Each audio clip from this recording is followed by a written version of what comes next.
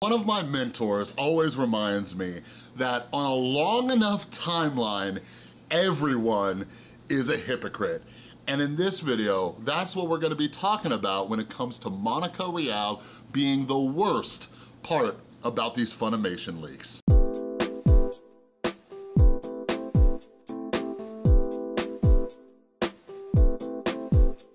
What is up everybody? This is Chris from The Rewired Soul where we talk about the problem but focus on the solution. And if you're new to my channel, what I try to do is take different topics going on in the YouTube community or pop culture and try to see what lessons we can learn from them.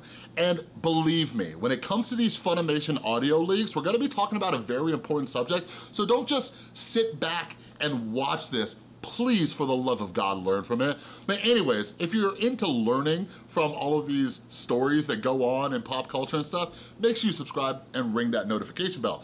And for those of you who don't know me, hi, my name's Chris. Something I am really against is cancel culture, internet hate mobs, and just all that kind of mob mentality stuff. But anyways, it is August 31st. Today is the last day to get a free copy of my brand new book, canceled inside YouTube cancel culture.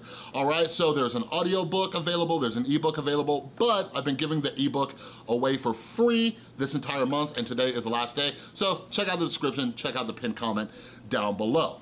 All right, so yeah, let's talk about this Funimation audio leak story.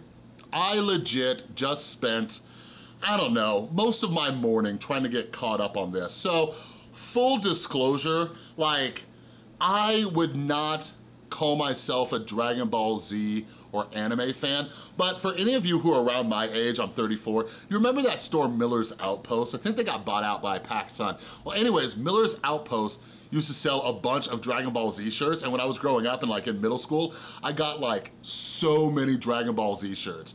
But I only watched the show a little bit, so I'm sure the real Dragon Ball Z fans out there watching this, like you think I'm some kind of poser, and I kinda am. but anyways, there was just a bunch of Funimation audio leaks and Funimation, um, they, you know, they're the organization that I believe does like the, the American dubbing for Dragon Ball Z. And a bunch of these actors, there were audio leaks of them like talking in the voice of the characters, um, saying, you know, like just saying a bunch of like sexually explicit things, talking, you know, saying things that could offend, you know, people of the LGBTQ community and all sorts of stuff. And I'll give you my thoughts on that at the end of this video, but here's why it's such a big problem. So a guy by the name, and I, I, I apologize if I mispronounce it, Vince Mignogna, all right? Um, he was also a voice actor, and earlier this year, like I don't have enough time to go into that story, like I just spent a lot of time trying to catch myself up to speed. But anyways, he was a voice actor, and a bunch of allegations came out and accusations, and if you want me to, let me know down in the comment section down below. Let me know if you want me to make some more videos about the Vince situation because no matter where you look at cancel culture and outrage culture and hate mobs, you see the same patterns. So when all these accusations came up about Vic, which most were not true, like a lot of the same things happen that happen to many other people, right? People making up even worse false stories. Um, there were other things like people being harassed and people from the fan groups going back and forth and it just becomes a hot mess. But anyways, if you're not caught up to speed on this, go, go do a little quick YouTube search. That's what I did, all right? But where Monica Rial comes into play is her and Vince were I don't know, he considered they were friends, right? And something that I'm always iffy about is work relationships and friendships, right? Like it's this weird, weird line to cross and this is an example of that and we all gotta be somewhat worried about that, right? Um, I had a rule for a very long time where like I didn't even add my coworkers onto Facebook. Like you don't need to know about my personal life, right? But as you get to know your coworkers and you hang out with them outside of work, then it's like, then those lines start to get blurred. But anyways, what happened was, and to my knowledge, this is how the story went, something happened where Vic like ate a jelly bean and he said, I just ate Monica, right? And by the way, there's like full depositions out there on YouTube that you can watch.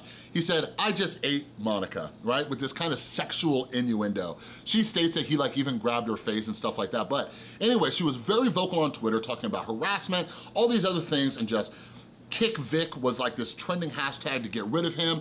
And then her colleagues, the other voice actors, were defending her and saying, yeah, this is outrageous and everything. And we see this happening, like if any of you have been following like the Pro Jared story or the Andy Signore story and everything like that. And don't get me wrong, like there are predators out there, there are harassers out there, and none of that is okay. But here's what we're gonna be talking about when it comes to Monica Rial and why she's just the worst type of person. And please, don't ever be this type of person. So, one of the worst type of people out there is somebody who you feel you have a, a joking relationship with and then out of nowhere, they, they take that and then they try to use that as a weapon against you. That is just the worst, all right? So that's why these audio leaks really bother me because clearly, if you listen to those leaks, like behind closed doors, these guys joke around. They joke around in their voices saying sexually explicit things and they just have a good time and they laugh and joke about it, right? So that's, that is perfectly clear now. But a lot of Monica's accusations of Vic came from one sexual innuendo joke that he made. Like, is it possible that Vic being in that environment and seeing all these voice actors make these sexually explicit jokes in the voice of characters, like he was part of that and then all of a sudden Monica, you know, as part of whatever agenda she might have had, started calling him out on that. But like, even the guys who backed her up, like, that is just brutal. Like clearly the work environment was playful and things like that. And my question is like, how much haven't we heard? You know what I mean? How, how many times was Vic around when they were making these types of jokes? So he thought saying like, oh, I just ate Monica, right? Like, he didn't think it was that big of a deal. But anyways, this is something that we've seen happen many a time. So if any of you watched what happened with James Charles when cancel culture came after him, so Tati Westbrook made this accusation against James Charles where it sounded like he was, you know, using this kind of power imbalance to, you know, uh, uh, prey on straight men. And what he would say was, oh, I'm famous. I could do whatever I want. I'm famous. And Tati was like, how dare he say that? I can't believe that he tries to use his fame to manipulate people. And then when James came out with his side of the story, he's like, this is something we joke around about all the time. And he showed text messages. He showed the screenshots about how they joke like it's an inside joke with their friends, like, oh, I can do what I want, I'm famous, ha ha ha. Like, they joke about it. So again, like, when you look at this, what Monica Rial did, what Tati Westbrook did, it is just the worst. Like, taking something that has been an inside joke or something joking and, and then trying to weaponize it is absolutely brutal. And one of the reasons I'm tackling this angle of the story is because like, I see it happen all the time and I have zero patience for it. It happened to me, it just happened to me on Twitter like two days ago. There's a kid out there, I won't name his name. But anyways, like this kid is constantly just messing with me, right? And like, I like to joke around. I joke around with my son all the time. I joke around with my girlfriend. I joke around with everybody, right? So like, he is always making fun of me and I make fun of him because he's young. He's not super young, he's like 22 years old, right? And then out of nowhere, well, it wasn't even out of nowhere, he instigated by retweeting me with a little dig.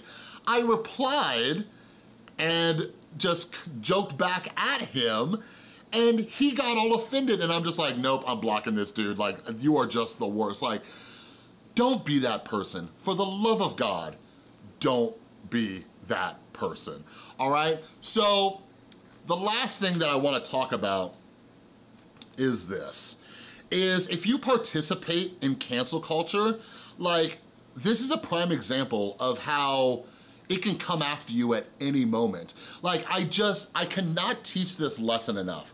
Like there is not enough time, I don't have the ability to convey that to you. Like, I just want you to know, like, everybody loves participating in the online hate mobs and trying to take out other people and call out other people.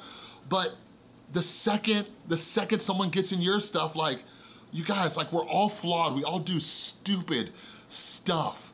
You know what I mean? And like, that's why, like when you go to my website and uh, you see my book canceled, it says, are you next? Like my book about cancel culture isn't just me, you know, telling my story. Like it is a cautionary tale.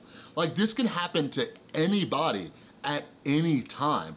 All it takes is just for one thing to leak, like what we're seeing with the Funimation audio leaks, all right? So my final thoughts, my final thoughts on the Funimation audio leaks, had it not been for them going after Vic and what happened to Vic, this, in my opinion, would have been hilarious, all right?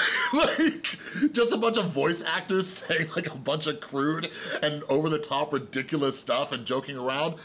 That is so funny. I, I can't remember where it was, but there was a guy who does like a great impression of Winnie the Pooh and he was on he was on some podcast with the comedians. Like, I think the, the podcast, the comedian is Big is it Big John? I don't know. Anyways, he's like talking in Winnie, uh, Winnie the Pooh's voice and just saying this awful and crude things. Things that Winnie the Pooh would never say. I have a sick and twisted sense of humor, so maybe that's why I find it funny, but that was hilarious, all right? So like I said, like with these Funimation audio leaks, like if, if this was just an isolated story and none of that stuff happened to Vic, and this came out and people were losing their minds over it, I would literally be making a video defending everybody involved, all right? I'd be like, yeah, they joke around behind the scenes and some somebody leaked this and outrage culture's coming after them. But the only reason, in my opinion, why it's bad is because of what this cast of characters did to that dude, Vic all right? But anyways, don't be that person. Don't be that person who has inside jokes or a certain type of friendly relationship and then try to weaponize it against people. Like, don't, don't do that, all right? but anyways, like I said, uh, today is the final day, so make sure you check out the description down in the pinned comment below. Get yourself a free copy of my brand new book, Canceled Inside YouTube Cancel Culture, and the audiobook's available as well. And on my website, if you're interested in other books, I have books about anxiety and anger management and addiction and all that kind of stuff. So feel free to browse around while you're there. All right, but anyways, that's all I got for this video. If you like this video, please give it a thumbs up. If you're new, make sure you subscribe and ring that notification bell. And a huge, huge thank you to everybody supporting the channel over on Patreon. You are all amazing, and a huge thank you as well to everybody who supports the channel in other ways by buying my books, buying merch, and all that other kind of cool stuff. All right, thanks again for watching. I'll see you next time.